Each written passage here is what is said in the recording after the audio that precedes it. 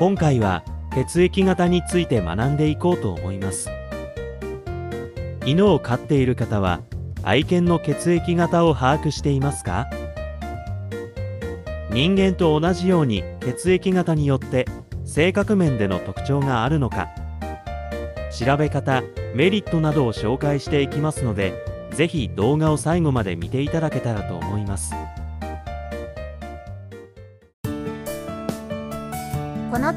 はトイプードルを飼って感じたこと調べたことをもとに有益な情報を発信していきます。ぜひチャンネル登録高評価コメントをよろしくお願いします。まずは人間の血液型について軽く説明していきます。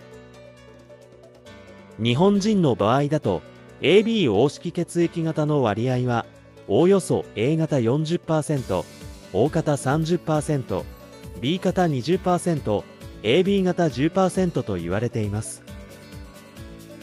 そしてその血液型の各特徴と性格は次のようになります。A 型の特徴と性格。A 型といえば几帳面で真面目と言われることが多くどちらかというと控えめな印象をお持ちの方が多いのではないでしょうか。リーダーシップが強い方も多く人を引っ張る力を持っている人が多いそうです。その他の特徴として次のようなことが挙げられます。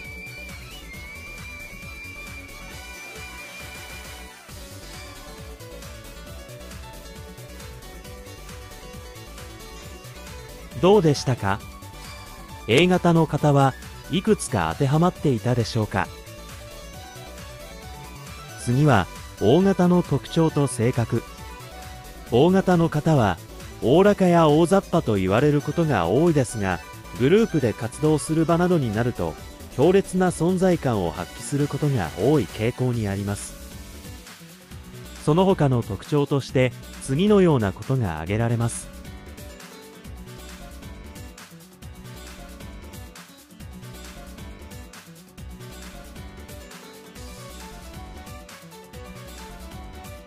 どうでしたか？大型の方はいくつか当てはまっていたでしょうか？次は B 型の特徴と性格。B 型といえば好奇心が旺盛と言われることが多いですが本能に正直ともいえ個性的で魅力ある方が多い傾向にあります。その他の特徴として次のことが挙げられます。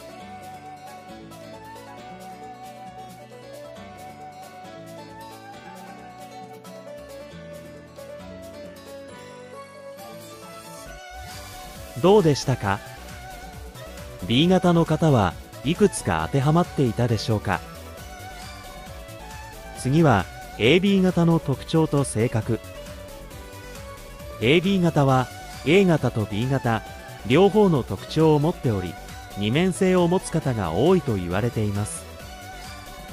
天才肌と言われることも多くミステリアスな印象と相まってカリスマ性があると評価される方が多い傾向にあります。その他の特徴として次のことが挙げられます。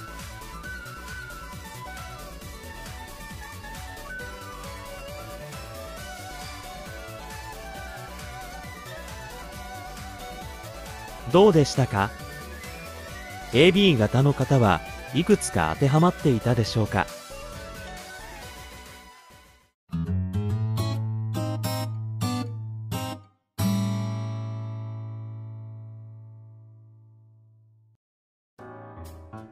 それでは今回のテーマでもある犬の血液型ですが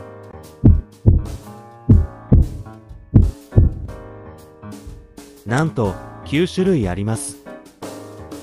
犬の血液型は人間の ABO 式とは異なり DEA 式になります。健康に過ごせているとあまり気にする機会がないと思います。しかし万が一怪我や病気など急な事態が生じた際にもワンちゃんの血液型に関して知識を持つことで余裕を持って対処できるかもしれません。それでは冒頭でも挙げた項目の犬の血液型と性格の関係について解説していきます。もしかして犬も人間と一緒で血液型を調べれば細かい性格がわかるのかな？と思う方もいらっしゃるのではないでしょうか。人間の場合では血液型占いのようなものがありますが残念ながら犬では血液型からの性格へのつながりは関係ないと言われています。犬の性格は社会科期の過ごし方が大きく影響するようです。それでは犬の血液型を知ることには何も意味がないのでしょうか。実は血液型を調べることにはとっても重要な意味があります。犬の血液型と副反応。私たちと同様犬に輸血処置を施すときは事前に血液型をチェックしておく必要があります。血液型のチェックは多くの動物病院で血液検査をすることができます。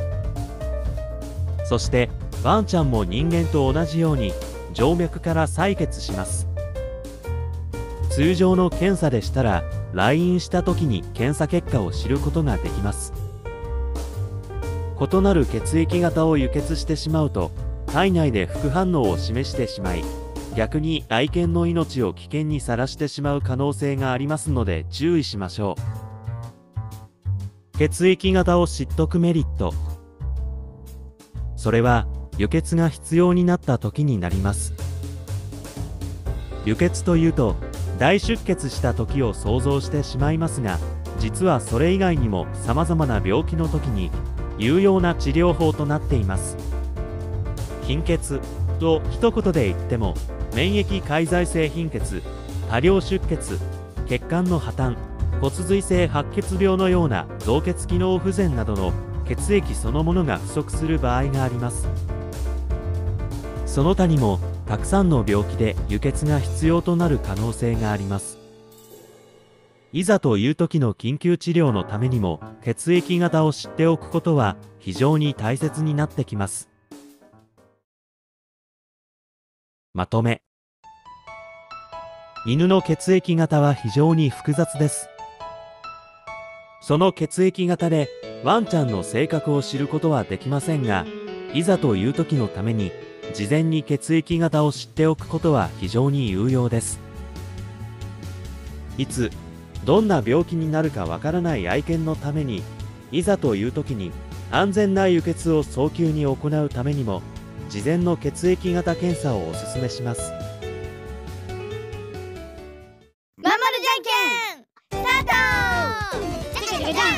ゃ